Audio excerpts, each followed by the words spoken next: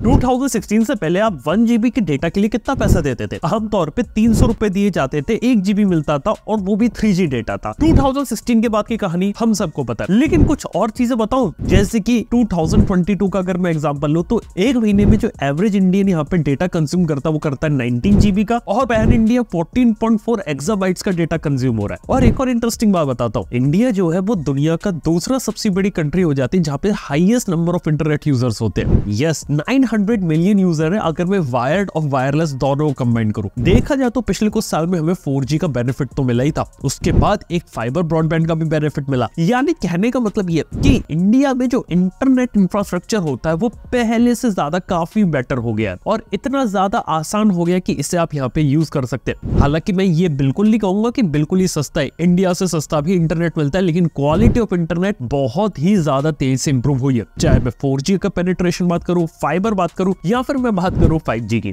ऐसे ही 2019 में इन्होंने दोबारा से कोशिश करते अपने फाइबर ब्रॉडबैंड के साथ। देखा जाए तो सब्सक्राइबर बेसिस के मामले में जियो नंबर वन आता है एयरटेल सेकंड पोजीशन पर आता है थर्ड पोजीशन आपकी वोडाफोन आइडिया की आती है फोर्थ पोजीशन पे आपका बीएसएनएल आता है। एयरटेल ने एक अच्छा काम यहाँ पर किया कि इंफ्रास्ट्रक्चर पे काम किया, अपने नेटवर्क को सॉलिड बनाया फोर को लेकर आए वी को लेकर आए फाइबर ब्रॉडबैंड को भी प्रोवाइड करवाया उन्होंने। इंडिया का जो इंटरनेट है, जहाँ पे हम पहले बॉटम ट्वेंटी में आते थे, वो टॉप ट्वेंटी स्पीड के अंदर हम कैसे आने लगे वेल उसका आंसर है 5G का। देखो 5G के बारे में आप लोग को मालूम होगा कि जो 5G रहता है, उसको इंडिया में आने में तो टाइम लग गया था। ग्लोबली जो पहला 5G हुआ था स्टार्ट वो हुआ था 2019 में। 2022 तक लग गया टाइम इंडिया में आने में। लेकिन इंडिया में जो डिले आया ना उसका एक बेनिफिट बताता हूँ, क्या हुआ। सबसे पहले तो बाहर की कंट्रीज़ में टेस्टिंग वगैरह हो गई, पता चलिए कौन सी चीज़ चलती है, कौन सी चीज़ नहीं चलती। तो टेलीकॉम ऑपरेटर्स ने वहाँ से सीख लिया। एयरटेल को लगा कि नॉन स्टैंड नेटवर्क को लाना चाहिए। जियो को लगा कि अपना खुद का स्टैंड नेटवर्क लाना चाहिए और 5G में भी वैसे धमाका करना चाहिए जैसा 4G में किया था। आज के समय में इंडिया में अराउंड 89 परसेंट के अराउंड जो यूज़र है ना, वो अभी भी 4G LTE ही यूज़ करते हैं। और 11 परसेंट के अराउंड 5G यूज़र्स है। लेकिन इसके बावजूद भी 5G का जो डिप्लॉयमेंट हुआ इंडिया में, वो ज़बरदस्त है। खास तौर पर जितनी तेज़ी से टावर्स लगे हैं,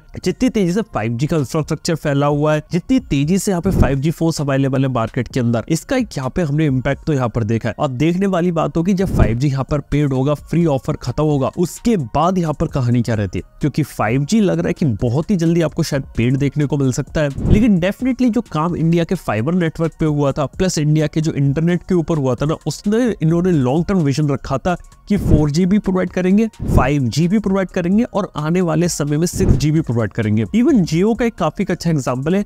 जियो ने यहाँ पे जो ओशन के नीचे जो फाइबर केबल होती है, उसके ऊपर भी काम कर रही है। और ये जो केबल का जो काम है 2024 तक यहाँ पे खत्म हो जाएगा। और इसके बाद 200 टेराबिट पर सेकंड की जो फाइबर लिंक की जो लाइन होती है, वो यहाँ पे क्रिएट हो जाएगी। यानी कि ऑलरेडी एग्जिस्टिंग जो कनेक्टिविटी इन्होंने इंडिया के अंदर करी थी इंडिया के बाहर हम दूसरी देशों को किस तरीके से जोड़े, बाहर के इंटरनेट से किस तरीके से कनेक्टेड रहे, वहाँ पर इसका काम किया गया। तो यार, ये भी काफ़ी अच्छी चीज़ है, जिससे जो ब्रॉडबैंड रहता है, जो बैकएंड रहता है, उसे और ज़्यादा यहाँ पे स्ट्रॉन्ग किया जा सके। इसके साथ ही बात करें तो यार इंडिया के अंदर ऑलरेडी सिक्स जी के ऊपर भी काम चल रहा है। सिक्स जी अलायंस वगैरह का भी फॉर्मेशन वगैरह हो रहा है, जहाँ पे आर एन डी वगैरह की जाए और ये देखा जाए, ताकि जब ग्लोबल लेवल पे सिक्स जी का रोल आउट हो तो उसे हम इंडिया में भी कैसे लेकर आया जाए। लेकिन सिक्स जी के अंदर देखा जा रहा है कि ग्लोबल लेवल पे शुरू हो तो उसके साथ एक दो साल के भीतर भीतर ही हम उस चीज़ को यहाँ पे अचीव कर ले। इंटरनेट के यहाँ पे एक और खास बात हुई थी, वो हुई थी कि इंडिया के अंदर आज के समय में फाइबर ब्रॉडबैंड बहुत तेज़ी से यहाँ पे पॉपुलर हो गया खैर, ये चीज़ें जियो फाइबर के आने के बाद बहुत तेज से पॉपुलर हुई, लेकिन जो आपका कॉपर वायर वाला ब्रॉडबैंड होता है, वो काफ़ी कम होता चला गया। और इंडिया में जो वायर ब्रॉडबैंड होता है ना, आज के समय में एट्टी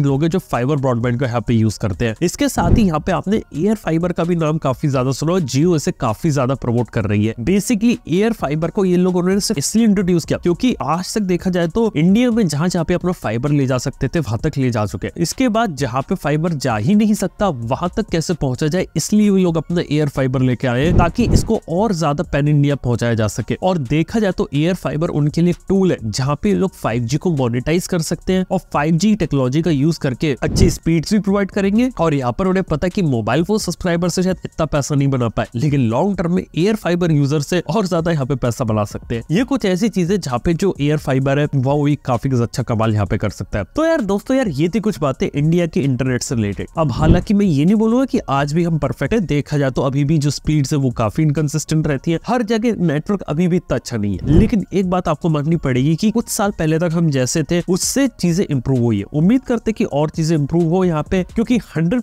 कवरेज तो शायद अभी भी पॉसिबल नहीं है। ना ही मेरे को लगता है कभी फ्यूचर के अंदर पॉसिबल हो पाएगा। और एक रिक्वेस्ट है टेलीकॉम कंपनीज़ के कि यहाँ पे यार जो अपने प्लान जो आप धीरे धीरे बढ़ाते रहते हो ना, उस पर धीरे धीरे लगाम लगाओ। और बीच में एक ऐसा स्वीट स्पॉट हुआ कि जो वैल्यू फॉर मनी वाला जो कंसेप्ट रहता है ना, वो दोबारा से ज़िंदा रहे। लेकिन अब मैं ये नहीं चाहता कि पुराना जमाना वापस है जहाँ पे हम तीन सौ रुपए के लिए वन दे रहे हैं। वो चीज़ ना हो के कुछ नई चीज़ें देखने को मिले तो एक बेटर चीज़ होगी। बाय द वे आप लोगों का यहाँ पे एक्सपीरियंस कैसा रहा इंटरनेट की और इसकी स्पीड्स को लेकर ये बातें कमेंट ज़रूर बताइए। वीडियो अगर आप लोगों को पसंद आए तो लाइक कीजिए शेयर कीजिए सब्सक्राइब कीजिए चैनल को अगर अभी तक नहीं किया है तो।